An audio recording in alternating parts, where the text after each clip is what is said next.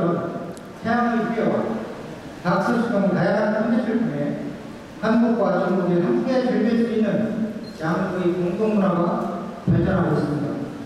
이러한 다양한 콘텐츠를 노출해서 한국인의 라이프 스타일이 동경의 대상이 되고 K푸드, K뷰티, K패션 등 다양한 영역 깊숙이 확산되고 있습니다.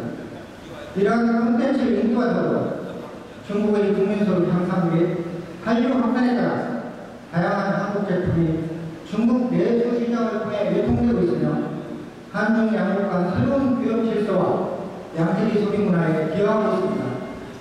중국 국민 소득이 향상됨에 따라 실생활도 높아지고 기후도 고파지고 친환경 신선식품에 대한 수요 증가도 한국 시장에 대한 가치를 높이는 주 요인으로 작용하고 있어 향후 고품질 농산물에 대한 수요 확대가 될 것으로 예상되고 있습니다.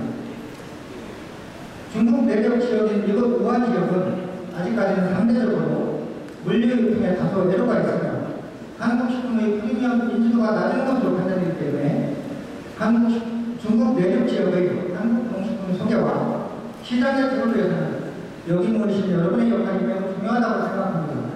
반면에 아직까지 인지도가 낮기 때문에 반대로 노력에 대한 효과는 높을 것으로.